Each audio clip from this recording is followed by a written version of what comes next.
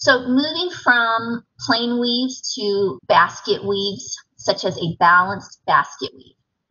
So a balanced basket weave is the simplest variation on plain weaves in which several yarns in each direction are grouped together and woven. So two over two, three over three, four over four are examples of balanced weaves. So in, in this example on the left, you have two over two.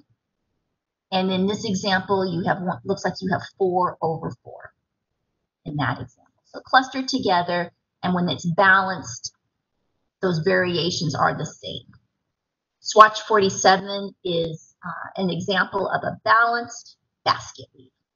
So swatch number 46 um, is an example of what's called a basket weave called a monk's cloth. And traditionally, monk's cloths were made of cotton. It's lightweight, it has an open weave, and it was originally used to make monks' robes. This fabric is a good choice for lightweight curtains, accessories, or pillows. So I'm a little disappointed that in our textbook they gave us an example of a polyester monk's cloth because really part of that was that it was cool and lightweight and you know used for the monk's role. But you're looking at the, the, the this basket weave. This is an open basket weave so that you see those kind of squares that are left. And it is made of polyester. So this we don't have a sample of this in your textbook, but I just wanted you to look at a couple more uh, basket weaves. Um, a hop sack, either a two to one or two to two basket weaves used for curtains or furniture. Um, covers because of wrinkle resistance. So there's what a hop sack looks like. It's called hop sacking because the originals were used as sacking for dried hops for, I'm guessing, beer. Is that what hops are for? My husband chimes in. um, Panama cloth. So you'll see this this pattern, this basket weave pattern, um, and it's often called Panama cloth for basket weaving and for if you go to West Elm or Pottery Barn and look at some of those jute or sisal rugs, you'll see that Panama cloth pattern. This is from West Elm. This is a basket weave headboard. You can see large clusters of yarns, several, you know, maybe 20 or 30 going across um, are clustered together to create that basket weave pattern. Probably cotton percale plain weave sheets with a print below. So beginning on swatch 48, uh, those are examples of what's called rib weaves. And so rib weaves, when you rub your hand across the surface of it, Probably the easiest one is to touch swatch 50, 51, swatch 51. You can feel that ribbing effect, those horizontal ribbed effects. And so this is going to be achieved in different ways. It's going to be achieved by using very thick yarns in the weft direction but sometimes it's actually occurred by jamming jamming in extra yarns inside and in between these different rows. So it's actually it's woven and then more filler yarns are are kind of jammed in there to create this real ribbed effect. And so this is going to be different than a corduroy. So it might feel like a corduroy, but a corduroy is next week. Cordur corduroy has a raised surface and then the ribs are cut out. This is, this is created during the weaving process.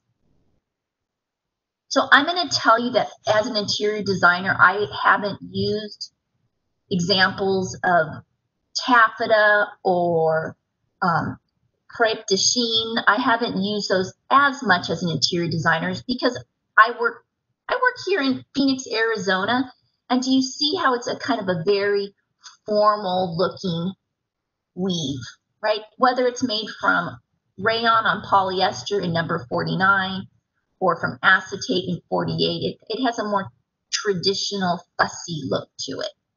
So I don't, I haven't used those, um, but should you work on the East Coast or should you do a lot of maybe special events and parties, a lot of party decor might be a taffeta or a crepe.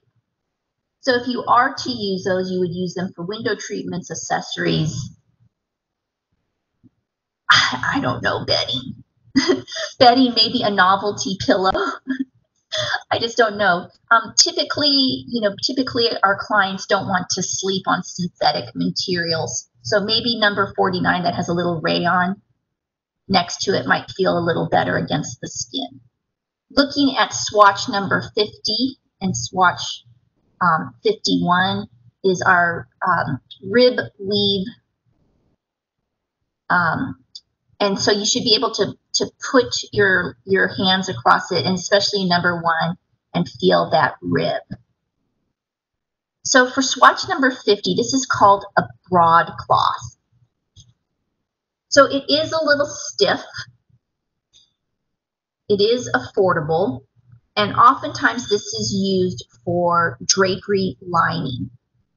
So I've mentioned throughout the class and, and as we get move further on that, you know, certain fibers need to be lined. So this is what you might use for drapery lining, a broadcloth.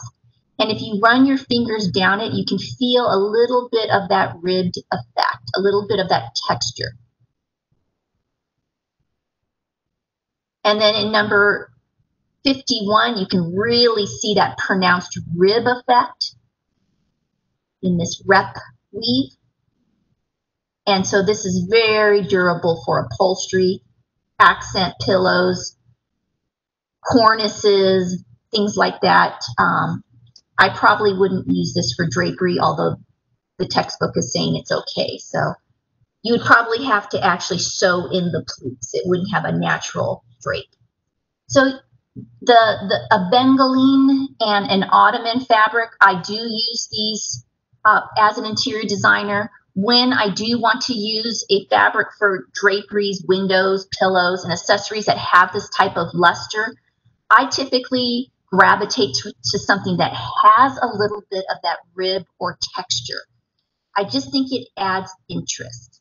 So you'll you'll hear me talking a lot about texture and visual appearance um, throughout the classes that you take with me because it adds interest to interior design. Flat, straight fabrics like a basic canvas, a whole room full of that is just very boring and you know it's not professional. So when we mix up these different textures we get different effects. So i would use this for window coverings. I like that if i'm trying to go a little more formal. As would i the i would use the cotton spun weave um, in sample number 53 as well called the ottoman so an ottoman is a larger horizontal rib so you should be able to clearly feel that rib the fabric could have various sized ribs or constructed as an occasional rib, depending on the effect that the manufacturer is trying to achieve. This one has like ribs in this example. An occasional has spacing between the ribs. So in some other examples, right, you've seen some spacing in some of those ribs. So it can go all the way across or it can have some different sizes and different spacing to create that effect. Here you can clearly see those fill yarns that were pressed through to pronounce and exaggerate the rib. You can see it right here on the side.